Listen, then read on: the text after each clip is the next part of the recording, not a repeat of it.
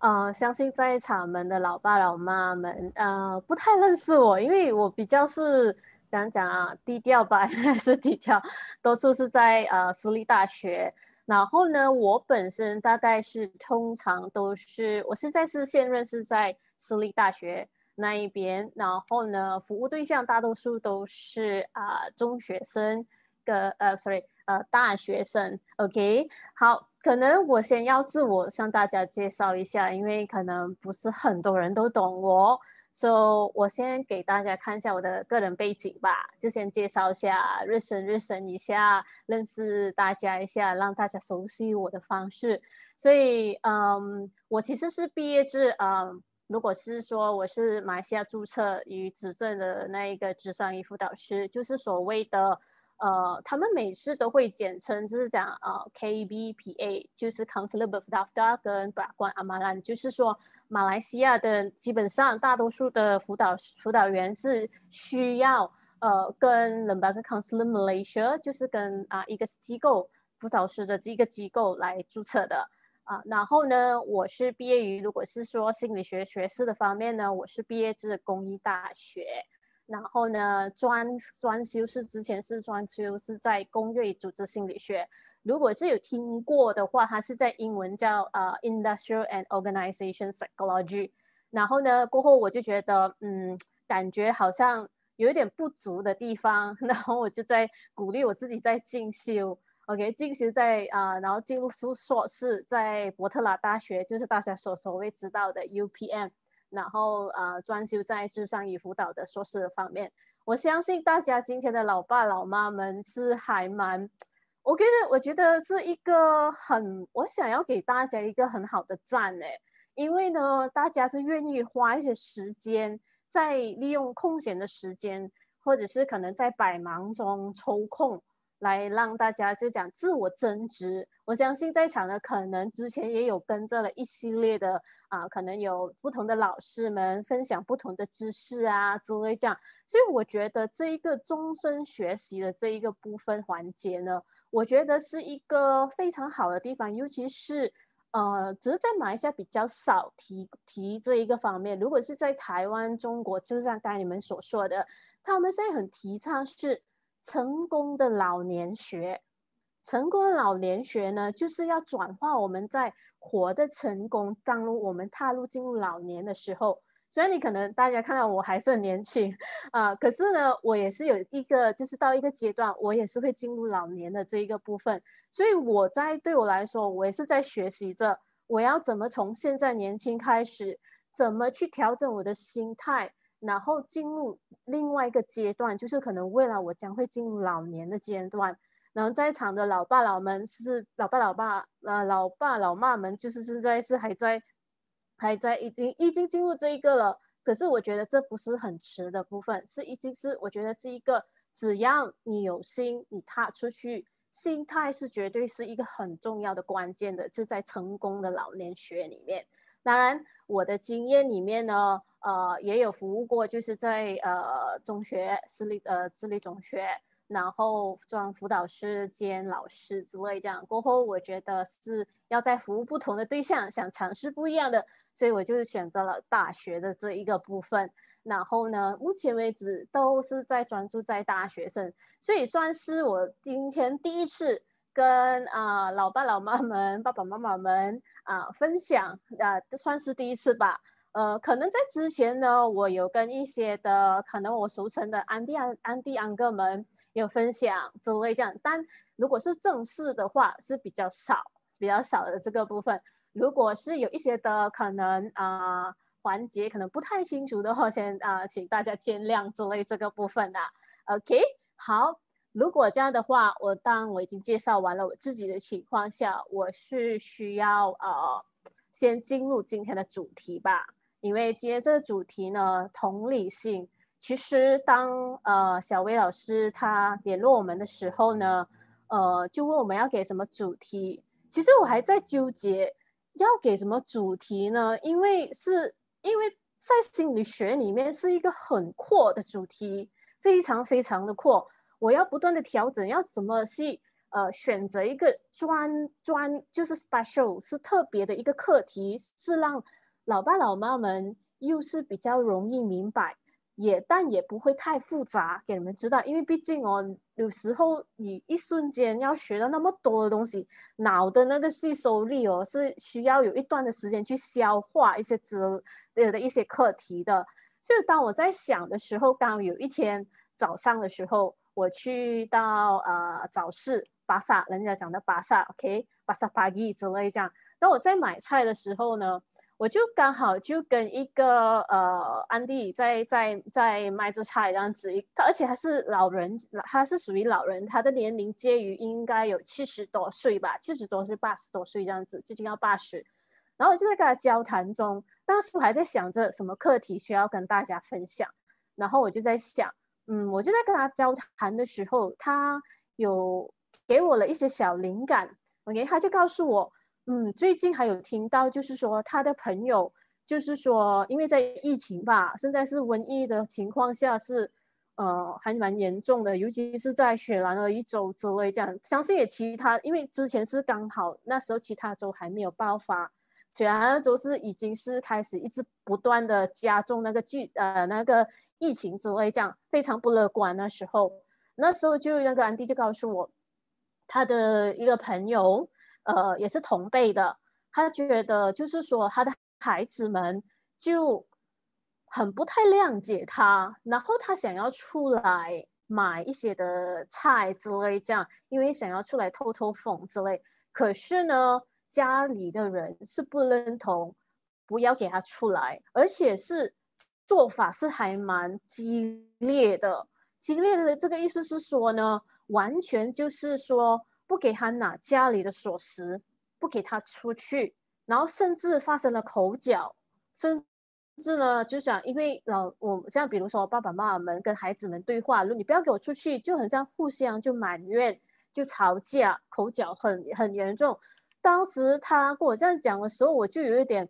好惊讶哦。就当然这一般上有时候是我们在家家有本难念的经，一定是会发生的。OK，可是。在这个疫情，我又从另外一个角度，就是说，我可以了解到，身为孩子们，如果是像我身为孩子的话，我其实还蛮担心我妈妈的，因为我妈妈在另呃自己的家乡，我现在要在别别个州属工作，我其实也是蛮担心她，诶，会不会出去买菜的时候疫情不太好啊？毕竟年纪上了年纪的情况下，呃，他们也是属于高风险群的，然后我就会担心，所以我当听到这样，我觉得。身为家属，无论是无论是呃，我我是照顾他的照顾者，或者是被照顾者，可能在场们就是说爸爸妈妈们是被照顾的那一位，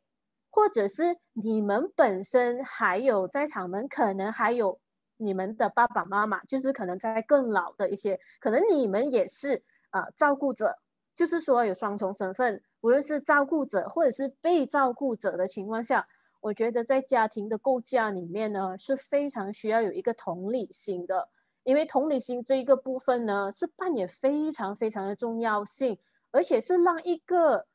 家庭的结构，家庭的结构怎么去圆滑互动，怎么去让他们说整个，我们讲是呃怎么说呢？呃，我们这叫叫做一个是息息相关，它走的那个就是我们讲一个一个螺丝。跟一个东西这样插在一起的时候，它如果少掉一个螺丝都转都不行的。所以那个要怎么让它圆滑润滑的走呢？同理心是具备要有一个的同这个部分。当然，我在准备这个过程中，也要感恩那一些哦。当我选择这主题的时候，我要非常的一个巴萨里面的那个安迪给我一个灵感。我告诉你，虽然巴萨有的人会说啊，是一个很是非地的地方。但是呢，如果是在我们这一个角度来说，我觉得身为辅导员的话，我觉得还蛮有趣的。有时候我跟他们活动的时候，呃，交谈的时候呢，我觉得是可以跟，呃，怎么说呢，拿到我的灵感。因为呢，我觉得是人吧，人是有人情味的。你可以从中他们分享长辈们的分享的东西呢，可以其实提供了我一些，我觉得有人生的智慧在那一边。有人生的智慧，让我能够，我们年轻的一辈能够学习到一个不错的东西，所以我觉得我要，我就会放这个同理心。其实同理心啊，讲实话，当时我的同行们就有问我，同理心这一个课题其实是蛮难的耶，因为是一个很你要行出来，是一个非常挑战度高的。我我我确实我不可以否认，包括我自己，我们在这一行，我我不能够说高傲的说，哦，我一定是很专业的，我很专业，我可以掌握这个同理心。我不认为，我觉得我需要谦卑我自己。我觉得，当我拿这个科系的，我读修读心理学或者智商与辅导的时候，我反而是给我一个是需要更加的去学习，在我人生里面。所以这一个就是要让大家知道的这个环节。所以呢，我要让大家知道为什么同理心那么重要。OK。啊，这边呢，我会搞，就像刚才我讲的，其实呃，无论是高龄者，可能在这在场的已经是可以进入是比较高龄的，或者是可能是属于啊，像我爸爸妈妈这样，可能六十多岁、七十多岁之间的，或者是可能更年轻的之类这样。总之，或者是家属们，我身为家属，其实同理心其实能够发挥我们的心情稳定。让我们的心情能够稳定的，其实我相信大家，我给你一个一一个一个情况，如果跟你的家人吵架的时候，我相信你的那一个呃心情，你可以从你的心跳开始，或者是还有你的思想开始，其实都会很乱的，然后心跳会是很跳比较快，因为当我们会有生气，生气的时候，我们的血是需要。呃，我们讲棒，就是说要要抽着那一个收血，因为脑我们的脑是需要供应很多的地方，因为我们生气嘛，我们的身体就会启启动很紧的，很像发挥警 alert，就是说警告这样哦，需要准备小心。所以当这样子的情况下，我们的身心灵都会影响到的。OK，所以同理心它是能够发挥我们的同心情的力量。OK。如果在场的们，你们是家庭照顾者，OK，我是可以透过同理心，还是可以帮助我们同理我们的爸爸妈妈们的立场。而且，如果你是被照顾的那一位，你也是要扮演一个角色，就是我也需要同理我的家人的辛苦，就是我孩子照顾我的辛苦。因为这只有双方的情况下，不能一厢情愿的感情里面肯定不能一厢情愿的，是肯定要双方的情况。OK，然后呢，这可能为什么不能一百八先呢？因为这个是需要不断的学习的。OK，这或许可能能解决，可能让我们觉得很像很困扰的那种纠结的情绪。哎呦，我要怎样啊？哎呦，哎呦，哎呦，这样子，然后躺着睡觉的时候一直会纠结之类这样，OK？所以同理心的重要性是在这个部分。好，那我要让大家知道什么是同理心，因为毕竟有人听过，可是如果是听到同理心的话，可能有略知或者是懂一些部分的意思是在哪。所以我要先拉将大家，就是先了解同理心的意思是在哪里。第一个，你可以是他的意思是说，你要了解，你要理解跟回应他人的独特的那个经验的能力。因为我们老爸老妈们，OK，是有经过了不断的，就有很多人生经验不一样的地方，OK。然后我们年轻一辈的。有时候并没有像啊老爸老爸们是有那么多的经验，所以同理心是具备要有这个去要怎么去理解跟回应他们独特的经验的能力。OK，还有另外一个第二个就是你会从对方的立场出发去感受他的内心的情绪的成分的意义。为什么呢？这个的意思是讲呢？你可以从站在的另外一个角度，站在好像是可以去了解他当时的想法、当时的情呃情绪、当时的的的去呃决定，而且当我们了解去看他的时候，我们是不带任何的批评。人家就是批评他哦，你这个行为，你这样决定就是你很笨呐，怎么你这样都不会呀？怎么你这样慢呐？等等等等。但如果是真的是同理心，一个是有素质的同理心的话，是不会马上去直接是呃去怎么说呢？呃，去批评他，他会先听，先听，先听他的情绪的意义，还有听他的那一个的的呃内容，到底在发生了什么事情。好，还有第三个，当你听的时候，那一位人当要同理一位其他人的时候呢，我们的爸爸妈妈呢？或者是我们要同理我们的孩子们的情况下，其实我们要调整我们的观点。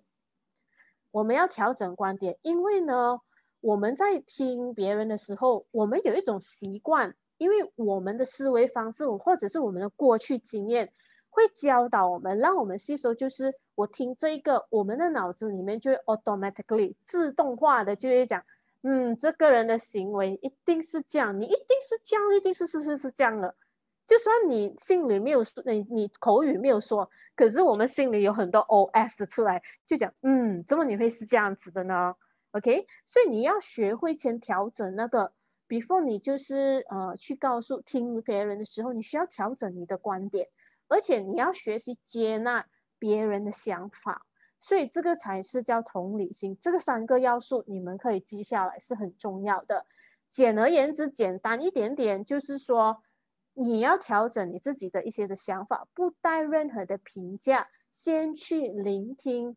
观察你的孩子们，或者是爸爸妈妈们要跟你说的一些的内容，然后去了解他的想法，去了解他的心情，这个心情怎么影，这事件怎么影响他的心情跟想法，是可以这样，这就叫同理心。简而言之啊，因为说如果太太过深奥的话，我们需要消化一下。可能有时候我在上课的时候，如果我们要在进修的时候，我们老师也是跟我们讲有一些深的、很深的一些的内容，我需要消化，所以我尽量把它简化它，让大家知道。OK，这个是我在啊在同理心里面。我是在啊一个网页里面呢，OK，呃，他分享这位呃这位辅导师的分享智商心理学，我觉得是还蛮不错的，所以觉得哎这个可以分享给大家知道。如果你要表达同理心，其实有七大步骤，OK，那七大步骤是什么呢？我们先大概是 overall，就是整体的来看一下啊，OK，第一个开放式的问题，开放式的问题，然后第二个呢？是放慢脚步，你放心，等一下我会一个一个大概跟大家说，是到底是什么意思，OK？然后第三个，别立即的下判断，然后第四个呢，我们要注意我们的身体的反应，然后第五个呢，了解过去，然后第六个呢，让故事的缓缓的说出来，然后第七就是设定界限，那我就从第一个先开始。其实，在我们的辅导里面，专业里面，我们是常常被训练的时候，被 train 的时候，被训练的时候，要需要用多一点开放式的问题。因为当我们在去理解别人的时候呢，开放式的问题是可以鼓励，呃，让一个人是没有被局限，或者是让一个人可以自由，然后那就自由的诉说他的故事。我把它形容成一个故事，就是生命的故事的意思。我不把它认为一个问题，因为当然有不同的辅导员，他们啊拿的相信的一些的理论，他们都会有看待一些事情的是不一样的。然后我本身呢是觉得是不要跑人本的，人本的情况下呢，不把一个问题设视为真的是一个问题。啊，我会把它是成为一个你人生的一个故事，一个是你需要再调整的一些部分。大概是类似这样子啦，OK，开放式问题。所以呢，我先讲一下开放式跟其实有基本上我们通常会知道的，我们辅导员是通常被 train 的事情，况是有两种的问法，OK，问问题。因为通常我们在跟个沟通的时候，跟我们家属沟通的时候，其实是有两两个问题的，OK，基本上其实一个其中一个是封闭式问题，一个是开放式。然后什么是封闭式呢？一般上我们都会常用到，比较少用到是开放式，常用到是封闭式的问题。封闭式的问题呢，其实说当我们问的问是对方的问问题的时候呢，对方的答案通常是很简单的，比如就比如说他的回答是简洁的，是是还是不是之类讲。我拿一个 sample 就讲你今年几岁？他的问题可以跟你讲，我今年才二十岁、三十岁、四十岁之类这样，然后就完了。你住在哪？那讲我住在雪兰莪州，所以对方回答的问题呢是简洁，是很短的。但是呢，如果你常用在一个跟家属回应的时候、对应的时候、沟通的时候，如果你常用封闭式的问题的情况下呢，其实啦，你问多这个问题的话，你感觉如果换在你们角度啊，好像感觉是被审问这样，我是被犯人呢。如果你像如果是警察啦，他们通常啊，他们是不会用开放式的问题，因为他不要给你空间。去想任何的理由，OK，他只是会给你知道是啊用封闭式的问题，你应该怎样？OK，你住在哪里？你有去过这一边？你几点去哪里？这样子，如果我们跟孩子头呃沟通的时候，或者是啊孩子们跟爸爸们沟通的时候，你今天吃了吗？你今天在做什么？如果我们一直这样子问法封闭式的问题，其实我们被听的，我们被问的那一个对方啦。我会感觉好像被冒犯那样子的，这么你好像审问我这样，然后我的我们的情绪跟我们的身体会马上起反应，就会说很有保护机制的，就会说干嘛你一直这样子问我，很像感觉不信任我这样子。OK，这是这个一个一个例子这样子，所以封闭是在一个同理心里面其实是会有杀伤杀伤力的。你要同理一个人，尽量不要用太多封闭式问题。封闭式的问题，它的用处是在于你要得到确定、明确或者是明确的答案，所以你才用封闭式的问题。如果是在英文叫 close-ended questions，OK，但中文我应该是我尽量去找啊，因为马来西亚好像没有一个，可能我因为我背景是在学英文的状态，我要去找这一个中文，我想尽办法去看台湾的一些的嗯翻译，诶，他们就用这个方式。OK，so 开放式的问题呢，是说它其实是鼓励你，就是说你问的问法呢，其实是需要对方是提供更详细的说明，就是说给他空间，但又不会让他感觉是被审问的感觉。而且当你用开放式的问题的时候，其实。你可以在具备有一个条呃心态的是准备你的心态，就是你要展现你的好奇，你对地方对方的好奇发生什么事啦，OK，然后而且这一个开放式的问题其实是可以帮助你呃想要控制对方的想法，OK，或者是呃透过这个开放式，你可以让对方去说。或者是呃，让他们更有空间、自由性的去说更多，然后你也不会很像讲，哎呦，我不懂要问什么问孩子了，好像感觉我跟我孩子很难沟通哎。不啊，这个如果你用多开放式的话，有时候你只是问一些些，你的孩子就会跟你讲，blah blah blah blah blah 故事。如果讲可能发生了什么事情，我拿一个一个例子啊，到底发生了什么事情？如果你问你的孩子开放式的问题，可能你的孩子会讲。哦，其实哦，刚才我在 office 哦，怎样怎样怎样怎样哎，然后我遇到一个怎样怎样怎样怎样，最近哦，可能要我我的我的同事呢又又怎样怎样怎样怎样之类这样。如果你用封闭式的问题的情况下，哎，你的你的 office 不是呃呃最近可能需要 work from home？他的回答肯定是是，肯定是在是 work from home。但如果你是用另外一个方式去问的话，开放式的话。问题的话，而且你是展现好奇的心态的话，他感觉会被尊重。如果换作是你，如果你的孩子是用开放式的问题的话，你也是会很开心去谈。不不不不不不不，啊，有时候可能孩子就讲啊，不要不要了，够了够了，不要再说了，可能不要再啰嗦了之类这样，呃，可能。所以我给大家看一个这个图，是我在网上找的，这是简单明了的，就是让大家理解的，丰富封闭封闭性的问题，你开心吗？你的答案是是还是不是？你肚子饿吗？没有啦，还好啦，之类这样。你的回答是可能是这样，要这个吗？你就讲，嗯，不要，要之类这样。你想要这个吗？嗯，还好啦，可能是要啊，之类这样。OK，如果开放式的问题，你的心情是怎样啊？肚子感觉是如何啊？你可能会形容，嗯，我的肚子今天。好像是有一点感觉空空的感觉啊，等等等等之类这样，或者是你想要哪一个啊？等一下，我想要这一个，但是这个又是怎样怎样的？你会发现他的回答问题是比较阔的、长的，你会有更多机会去了解对方的想法、对方的心情跟感受。为什么要这一个啊？之类这样，这个是简单的版本。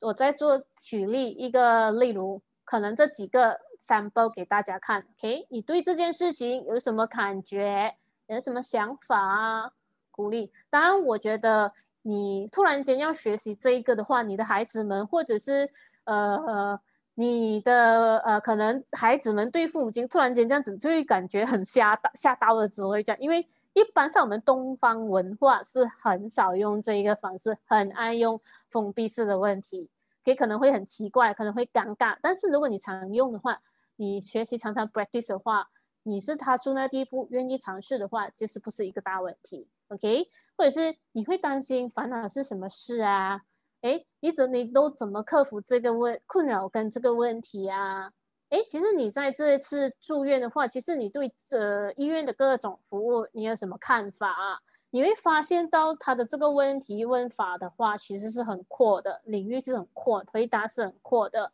我相信可能讲，呃，可能有一些，可能我再有听到还蛮多的，就是可能包括自己亲身体验吧。可能我的公公在差不多整九十多岁了，嗯，他拒绝，他拒绝去打疫苗，OK，他拒绝去打疫苗。然后我们如果我们一般上我们身为后辈们，通常会讲。说你不要去打，打是可以保护你的。我们很快就起反应，这样子了，就会很像感觉责怪的语气。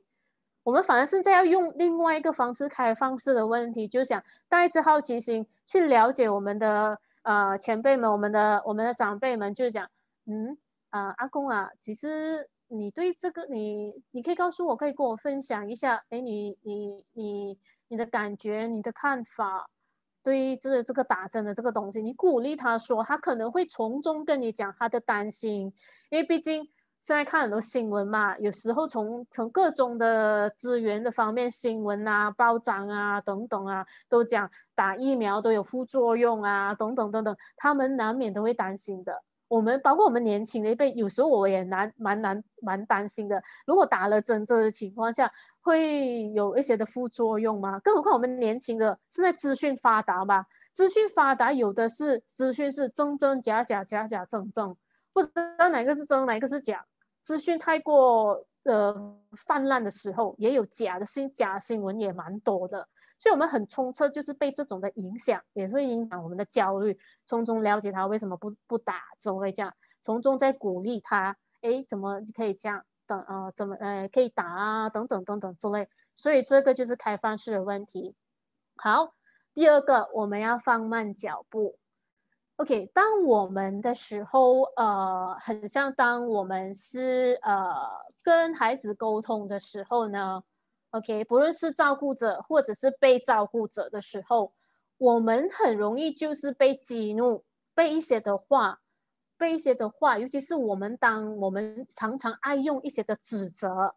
指责我们的我们的亲人，怎么你这样子的，怎么你这么这么这么这么这样子，说你这样子的很让人讨厌这样子之类讲，所以我们听到的肯定，我们很快就有保护意识。我们的身体就会跟我们大脑就会下命令给我们身体，好，我们要准备要反抗了，然后我们就会就很快的就会警觉，警觉的时候呢，我们没有办法理性的去聆听孩子的焦虑，或者是我们的爸爸妈妈们的焦虑的点是在哪里，而且这个会影响到我们对啊父母亲或者是孩子们的同理心的了解的这个部分环环节，所以他会鼓励你放慢角度。呃，脚步这个部分，OK，就是你需要冷静下来。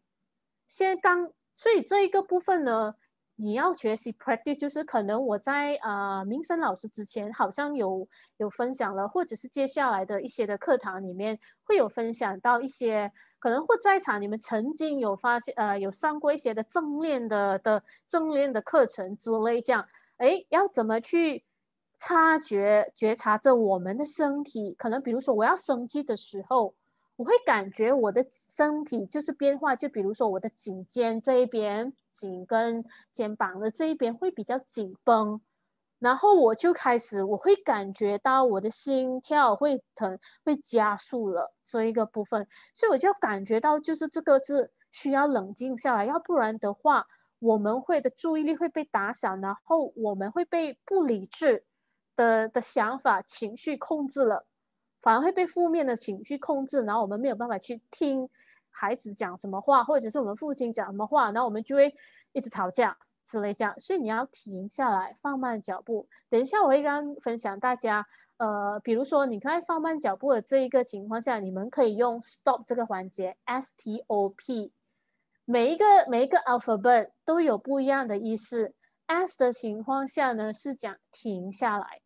当你发现到你的身体是紧绷，或者让你感觉你要生气，你一定每一个人生气会有不同的方式。OK，比如说我的是这样子，我就需要哦停下来先，因为我感觉我没有办法理清的去听我的孩子在讲什么，或者是我爸爸妈妈在讲什么东西，我要先停下来。OK，然后 T T 是 take a breath，就是深呼吸，可能深呼吸三下。OK，吸进去是用鼻子，然后停着一下，给那个。空气，I mean oxygen，就是氧气在你的头脑里面再循环一下，停一下，然后呼出来是用嘴巴的情况下呼出来。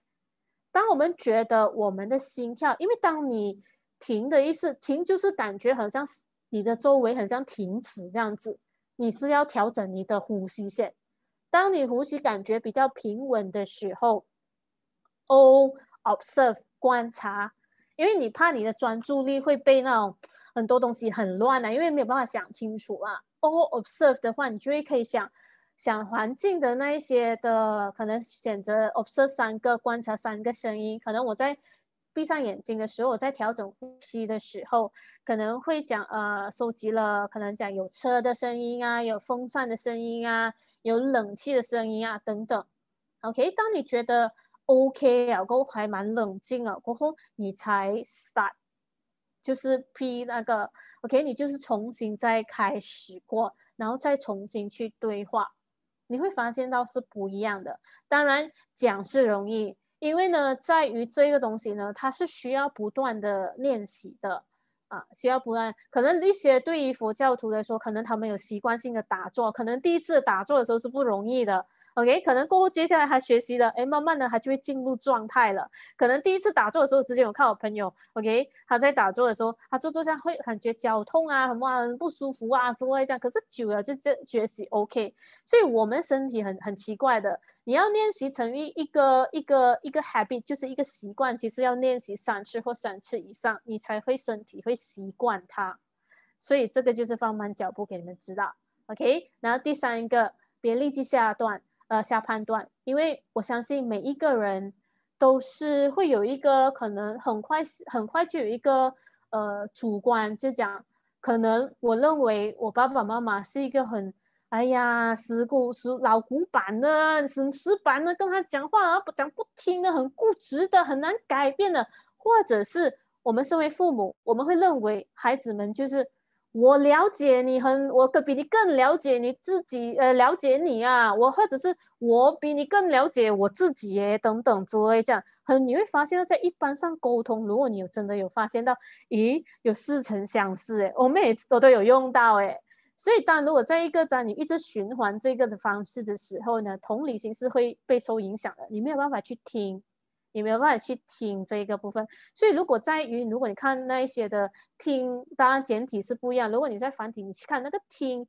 耳朵跟心是一起的，所以这个就是意思。我觉得中文的文字里面是有一个奥妙的点是在那个部分，还有你的思考模式。所以当你要发现这样，你需要修改，你要提升，就是这这方面的思考模式呢，你是要改变的，你要转化它，诶。与其讲我很快就讲你是死板的，我爸爸妈妈死板的，很像我的感觉抽了他，我爸爸是死板的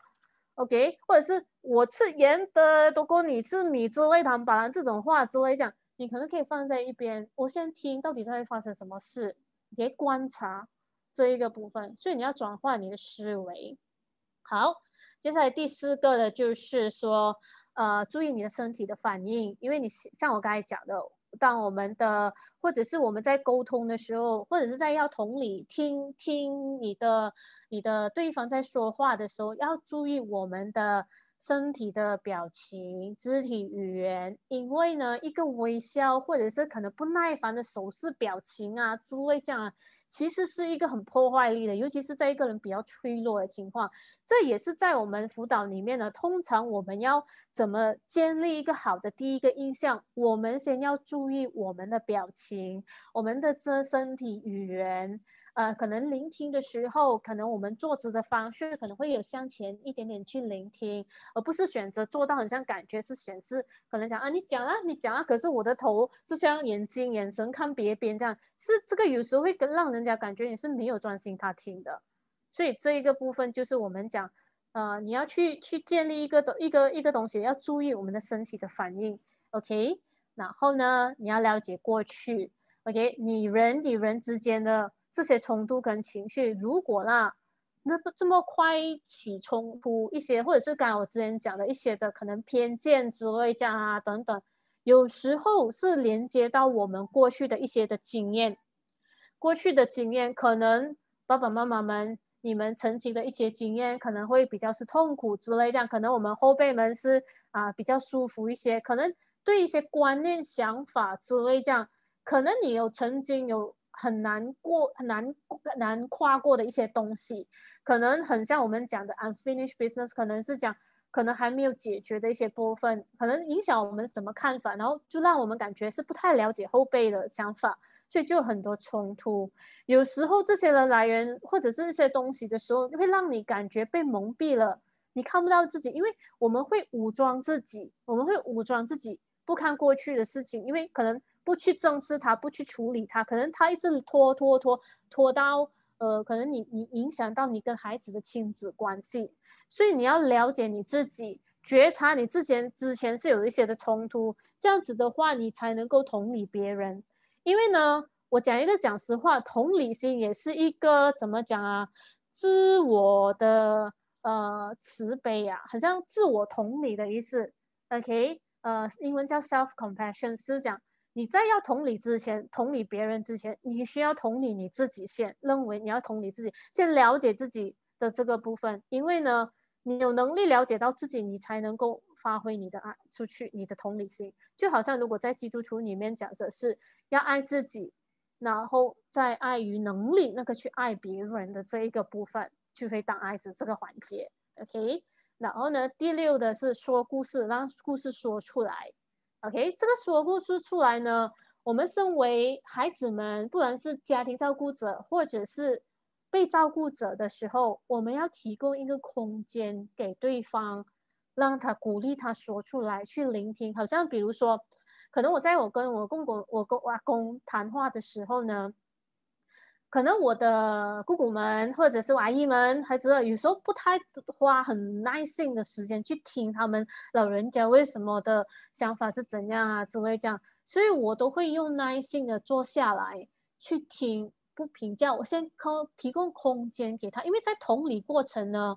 其实我们可以让他的生命，我们可以发现到，可能我们可以用很很好奇的，然后会蛮欣赏。他的这些挫折、伤害，然后又会发现到他的亮点在哪里？因为我们在在于很像我个个人的一些的个案，我这些个案的时候，呃，可能我们没有办法一瞬间就能解决他的问题，因为毕竟他是他是生命的主人。但同理的过程中，对方我的个案会感觉到我是跟他一起，真的是了解他，让他感觉我的他的感觉到是很温馨的。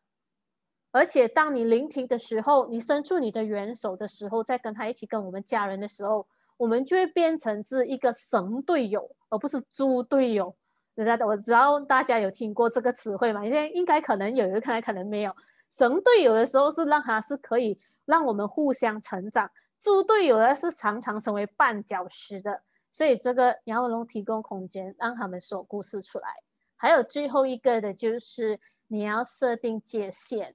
因为这个界限呢，嗯，我们在尤其是家庭里面呐，我们会有那种是傻傻分不清楚，要是说理不清的那种的关系。可能我尤其是在于看到很多一些的一些的一些的，我们家人常常就会觉得理所当然。OK，我觉得你应该要这样这样这样这样。有时候可能在过程中有带着很多自，人家自责哦，我没有做到这样。是因为怎样怎样讲，或我或者是我觉得我一定要做到完为止，或者是可能在相信大家可能有一些可能有孙女啊之类这样啊，可能讲哦，或者是以前你在可能要要很八卦，要想要去抄，有一些我听过，可能作为父母可能要去抄孩子的一些的哈书包里面到底有什么东西啊，去偷看啊，这是没有隐私了。这一个不是，所以我们在照顾人的时候，在照顾者或者是呃被照顾者被照顾的那一位，有时候我们需要给。一些小小的接线，一个小小的空间，OK，给他呃去去怎么讲，不被感觉很像窒息的感觉。很多最舒服的接线呢，通常是我们有给家人一点的空间。你会发现，如果一个家家庭出问题的话，你会发现到我们好像打一个绳子这样啊。当我们越不给空间的时候，我们的绳子越打一个结的时候，越拉越紧，越拉越紧，拉到最紧绷的时候。就会吵架，可能就会很多家庭问题出现，双方都两败都俱伤。所以给一些小小界限，对方，呃，或者是可能讲照顾的一些的的人的时候，可能讲我要一定要照顾我父母到这样子，这样可能有时候会很累。我方相信，就是有时候家庭照顾者是一个最累的部分，当然不代表是被照顾的那一个人不累，因为他们也是痛苦着。他也是有生病啊，生病或者是身体上的不舒服之类这样，所以你要给大家的互相缓冲空间，而不埋怨大家之类这样。OK，所以呃这一个部分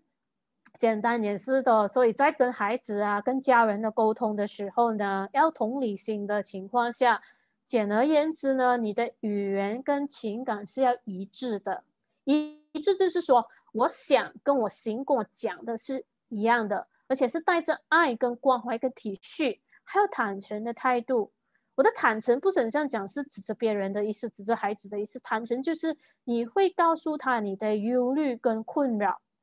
，OK，但也不会让对方难堪。我让大家看到这一个，可能我从取自于呃青草全人发展中心的一个呃。呃，荣正新为博士，我的老师之类的，我们在上课之类这样。OK，这一个在沙提尔，沙提尔的这个部分，相信有些人曾经有上过这个环节。OK，我跟家人还有亲近，你看，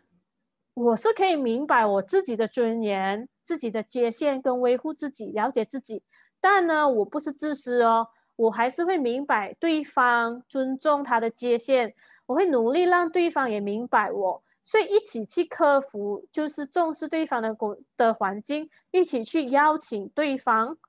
去处理一些事件。所以这个环节其实这个为什么用一个圈呢？我个人诠释，我们华人嘛，喜欢用圆的意思，圆的意思是用圆滑，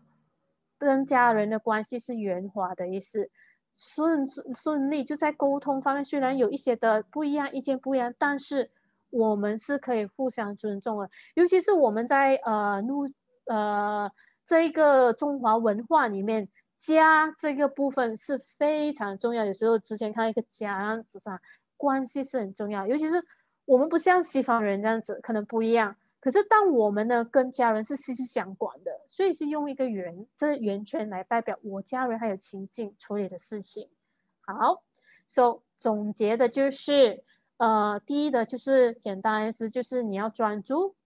，OK，就是你眼神，当你在听的时候，该讲的眼神啊，面对面啊，倾听这个要部分要注意肢体语言，还有你要提供温暖，就是你用你的口语跟非口语的语气来关心，而且语调很重要哦。语调呢，为什么很重要呢？因为会让人家误会。如果我们声音就很大啦啦，哎，怎样怎样怎样之类这样，你会发现到哦，其实会让人家误会哇。你这么会吓到？哎，你到底是真的是在听完？所以我们在个案辅导的时候，我们声调会调的，有上有下。当然我们会开心，有时候会跟我们个案在笑笑笑笑笑，我们声音会很很很高之类，像笑到很开心，会这是正常的。所以会有高高低低，还有接纳不评价对方。最重要是你要给对方的安全感，让他感觉知道的是心轻松跟关怀他。OK，还有真诚。你想的跟你讲的这些态度是真的很重要，还有尊重。不要太过快的评价、强逼对方。你一定要接受我这样子的想法，这样子是对的。你听妈妈讲，这个是对的。你听我讲，这是对的啊。这个其实是已经是不太不太给对方空间去去了解对方。还有第六个，支持支持对方，就是要降低一些的焦虑。焦虑其实让我们是没有安全感，然后感觉就是坐立不安，容易起口角。这个就是这个环节。好，那我到这边为止。